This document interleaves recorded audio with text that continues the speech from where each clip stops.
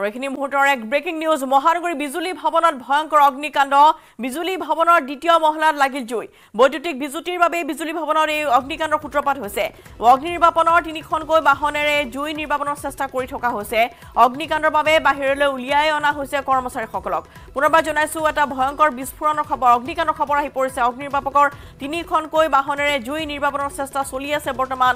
বিজুলী ভৱনত এক অগ্নিকাণ্ডৰ ঘটনা সংঘটিত হৈছে। বিজুলী ভৱনৰ পৰা ইয়াত দেখুৱাইছো মহানগৰী বিজুলী ভৱনত ভয়ংকৰ অগ্নিকাণ্ড। বিজুলী ভৱনৰ দ্বিতীয় মহলাত লাগিল জুই। বাহিৰত যথেষ্ট সংখ্যক লোক এয়া বিজুলী ভৱনৰ বাহিৰৰ দৃশ্য আমি দেখুৱাইছো। বৈদ্যুতিক বিজুতিৰ বাবে বৈদ্যুতিক বিজুতিৰ বাবে বিজুলী ভৱনত লাগিল জুই। অগ্নি নিৰ্বাপকৰ তিনিখনকৈ বাহনেৰে জুই নিৰ্বাপনৰ চেষ্টা চলাই থকা হৈছে। অগ্নিকাণ্ডৰ বাবে বাহিৰলৈ উলিয়াই অনা হৈছে কৰ্মচাৰীসকলক। দ্বিতীয় মহলত অগ্নিকাণ্ডৰ সূত্ৰপাত হয় বৈদ্যুতিক বিজুতিৰ বাবেই। অগ্নিকাণ্ডৰ সূত্ৰপাত হোৱা বুলি জানিব পৰা গৈছে বৰ্তমান। কৰ্মচাৰীসকলক বাহিৰলৈ উলিয়াই অনা হৈছে আৰু তিনিখনকৈ অগ্নি নিৰ্বাপকৰ বাহনেৰে জুই নিৰ্বাপনৰ চেষ্টা অব্যাহত আছে।